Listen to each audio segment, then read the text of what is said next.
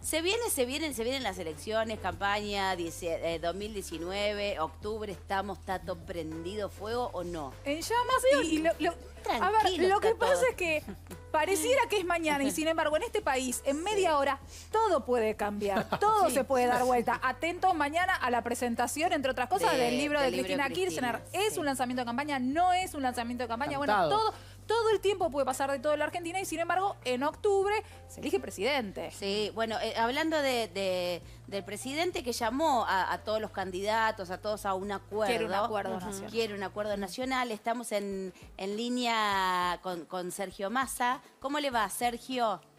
Maju Lozano lo saluda. Gracias por el Hola, ¿qué móvil. tal? ¿Cómo les va? Muy buenas tardes. ¿Qué tal, Maju? No, por favor.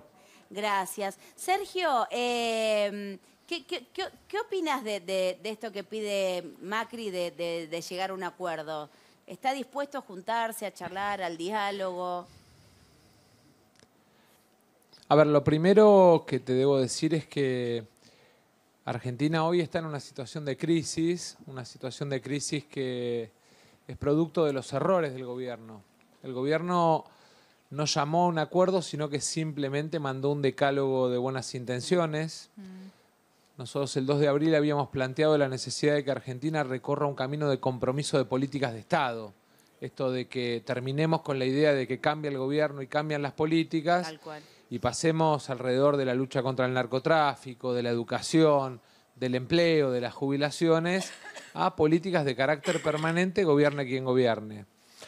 Desgraciadamente en el llamado del gobierno lo primero que nos vemos es la autocrítica, porque estamos como estamos, porque el gobierno equivocó el camino, porque tomó medidas mirando a las empresas de energía en lugar de mirar al usuario, porque tomó medidas alrededor de las leyes como jubilatorias, pensando más en los números del Estado que en la realidad de los jubilados, y entonces se cayó el consumo, porque está planteando un acuerdo que es para hablarle a los mercados internacionales.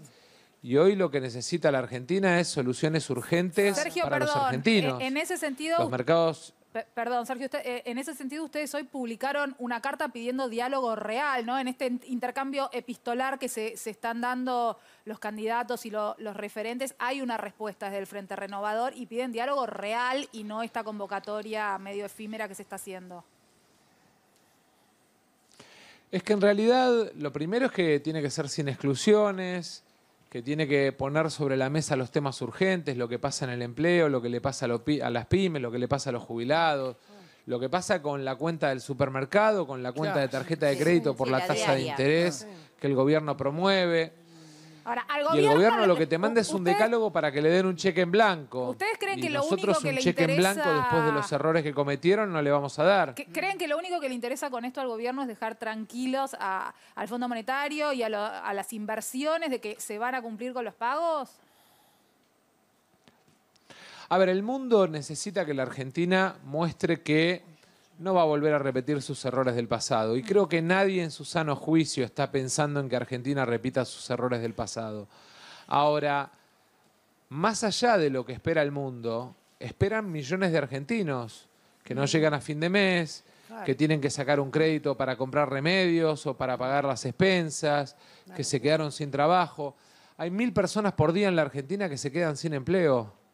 Y no podemos hablar de un acuerdo y no poner el tema del empleo, Claro. no poner el tema de la baja de la presión impositiva dentro de un acuerdo de la Argentina.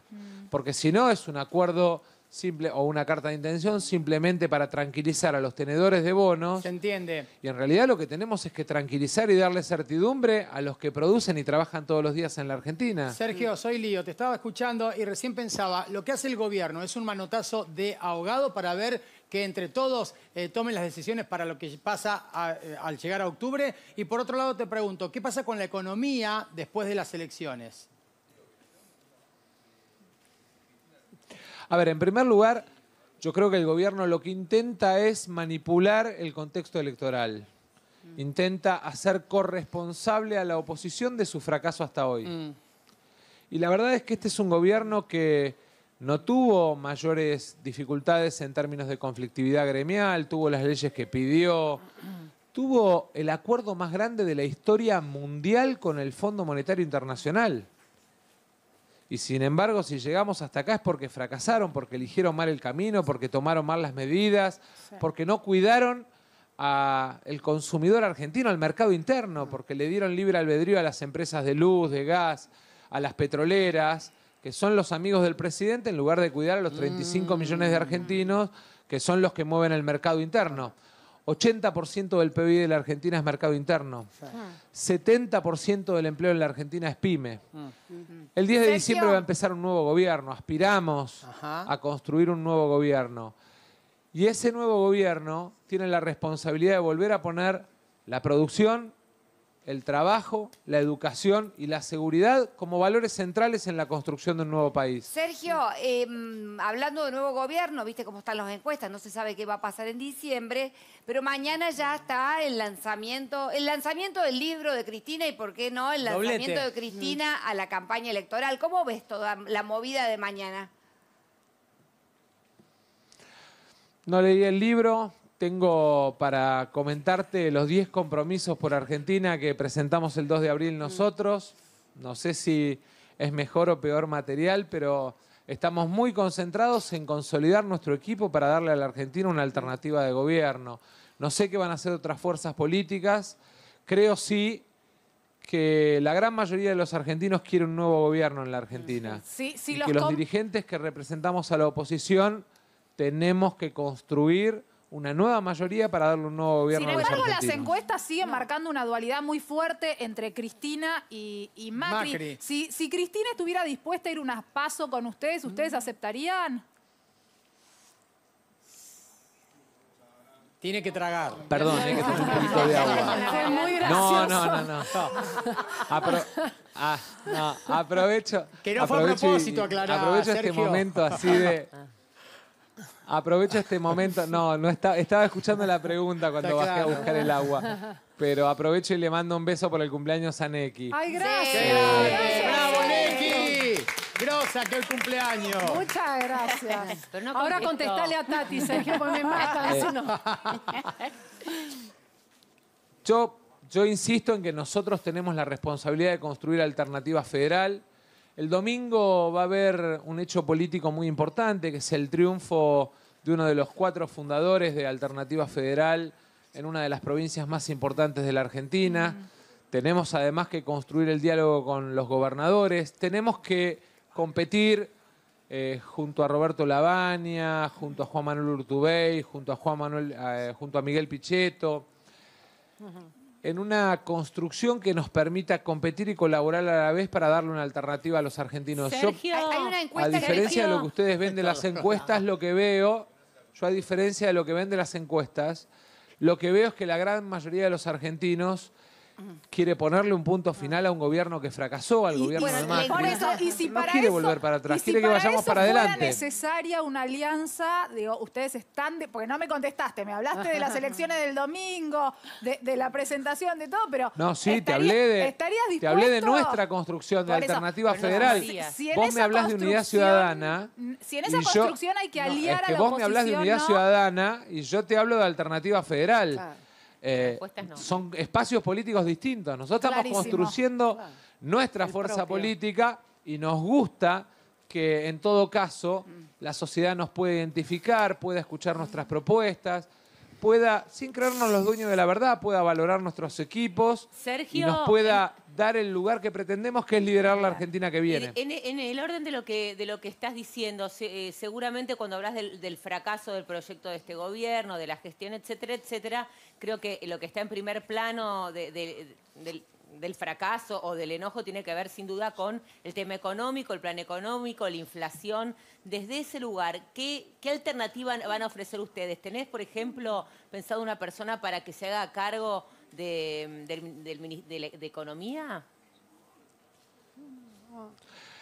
Sí, yo primero creo que la economía hay que abordarla desde lugares distintos. Argentina tiene que unificar todo lo que es su comercio exterior y su política de servicio exterior, porque el desafío más importante es que salgamos de esta lógica de endeudamiento, de pedir prestado todo el tiempo al mundo, para pasar a tener una política muy agresiva de vender trabajo argentino al mundo. Nosotros necesitamos poner en todos los mercados del mundo nuestra pyme y necesitamos que quien maneja el financiamiento externo, quien maneja el comercio exterior y la política exterior sean la misma persona, porque eso nos va a permitir, de alguna manera, empezar a mirar la balanza comercial de la Argentina buscando ganar, dejando de exportar ahorro, importando deuda, para pasar a una Argentina que le vende a los distintos mercados del mundo el trabajo argentino. Creo que el economista más preparado para llevar adelante esa tarea, sin duda, es Martín Redrado, y creo que un gobierno de unidad nacional, un gobierno de amplia coalición, eh, tiene que tomarse muy en serio el vender el trabajo argentino al mundo. Sin duda. Sergio, muchísimas gracias por, por el móvil. Nosotros lo, lo que necesitamos los argentinos es gente comprometida que ame el país, porque es un país maravilloso que hay que sacar que adelante urgente. Gracias, Sergio. No tengo ninguna duda y creo que, que nos comprometamos más allá de las diferencias Sin alrededor de algunos temas que, que los argentinos necesitan, nos va a devolver un poco de patria, que lo necesitamos. Ojalá. Un beso grande. Gracias, Sergio. Muy amable. Gracias por el móvil. Gracias.